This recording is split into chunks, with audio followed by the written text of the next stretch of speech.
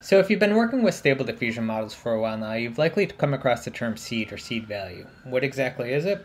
Well, a seed value is a random number that is used to generate a noisy image that then the stable diffusion model will gradually clean up through several steps in order to create the final output. But to kind of demonstrate the importance of the seed value and what you can do with it, we're going to go ahead and dive into some examples. So first off, I'm going to go ahead and just put it in a prompt of the word dog. And I'm using a fine-tuned model called DreamShaper 8. And I'm going to leave it at a random seed value right now of minus 1.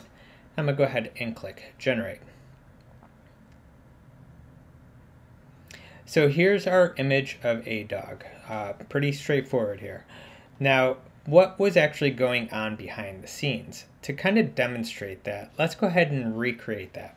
So you can see right here that there's the seed value. And if you copy and paste this into the box or just simply click the recycle button, it will go ahead and generate this same exact image again. And so we're going to go ahead and generate um, a short video of what's going on behind the scenes.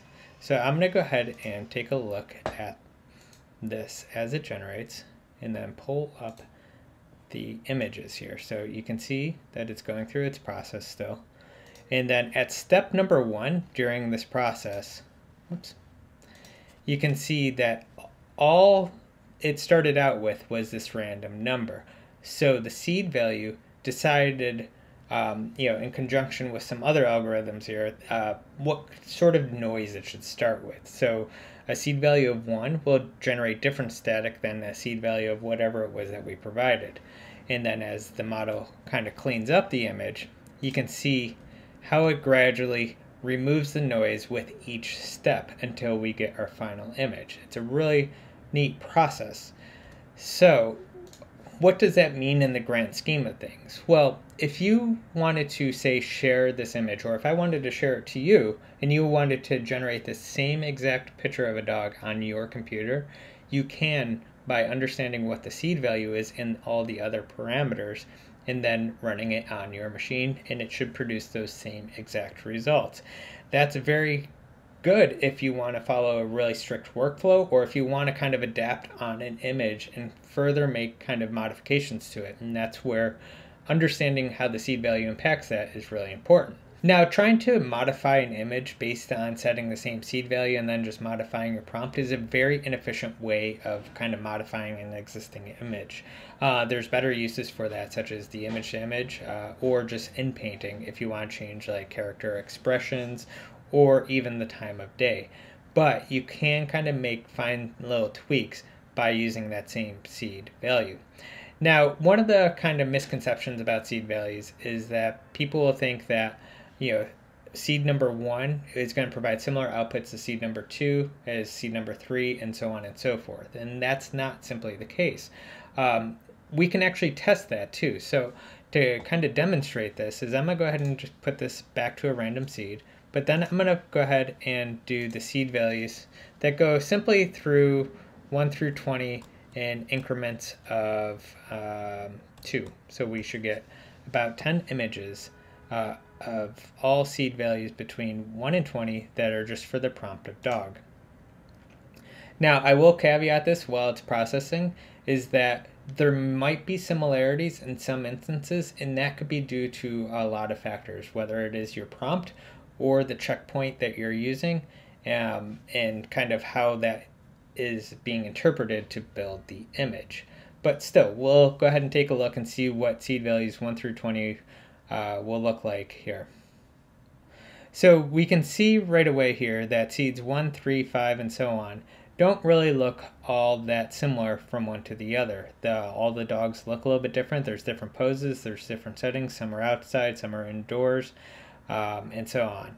Um, and you know, if you wanted to see very specifically, say seeds one through three, um, we can see you know what seed two was between these two and see just how similar they really are. And again, though, we can see that they all start with different noise and then ultimately uh, refine to completely different pictures of dogs. So don't ever feel like, you know, if a seed value is too close to another one that's going to cause similar images, it will not be the case. Um, so another thing that will affect the output of an image, especially with the seed value, is that, like I said, it generates random noise that then the stable diffusion model will continuously refine. So if I was to do a seed value of 1, so I would get this image. But if I actually increase the width just by one little push up here on the um, little input field, we can see it's a completely different dog um, than if we were to go back down um, to that on the width. So that's another important thing to keep in mind. Now, here's another really cool thing whenever it comes to seed values. Uh, say, for instance, I kind of like the pose in this picture. Um, and then let's take a look at uh, seed 3 here. And so it creates a different type of dog that's laying outside. Well, what if I wanted to see kind of a blend of these two images? And that's where you can actually use the XYZ plot, which I talk about in another video, and actually put in a variation seed of 3 with my other seed of 1. And then I'm going to change the variation strength. So this is a float scale. It's going to go between 0 and 1.0. And I'm going to increment it in 0.2 steps.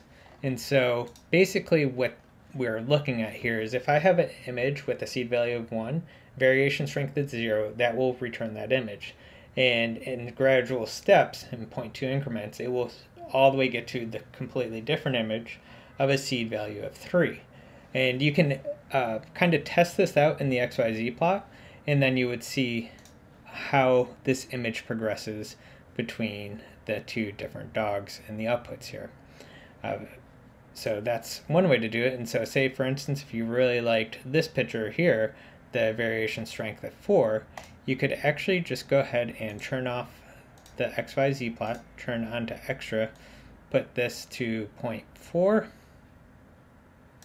and then the variation seed of 3, and generate that exact image, and then further adapt on it um, however you might like. So uh, that's with kind of blending of seeds. Now, what if I sent you this image and you're unable to reproduce this on your machine? Well, one of the reasons for that is how the random number generator might be being used on your machine um, in order to generate images. So this is very dependent on the interface that you're using to use for a stable diffusion model. Uh, because they might use different random number generator sources. So to kind of make it compatible across many different interfaces, is you're going to want to make sure that your random number generator source is the CPU and not GPU or NVIDIA, and then you can go ahead and share it with someone else. So that's kind of a high level overview of what goes on whenever you set that seed value to generate an image with stable diffusion. Now I know if you're like a machine learning expert or a computer science engineer, there's probably a lot more that's going on behind the scenes and I'll be the first to admit that that goes well beyond my realm of knowledge. Um, but at least just from the enthusiast user, if you will, uh, that's kind of how a seed value I find can really be used or leveraged whenever it comes to generating outputs. So with that, I hope this video was helpful. If it was, uh, please hit the thumbs up. If you have any questions about the video, please drop a line in the comment section below. I'd be more than happy to help out. And last but not least, consider subscribing. Thanks so much for watching. I'll see you guys in the next one. Take care.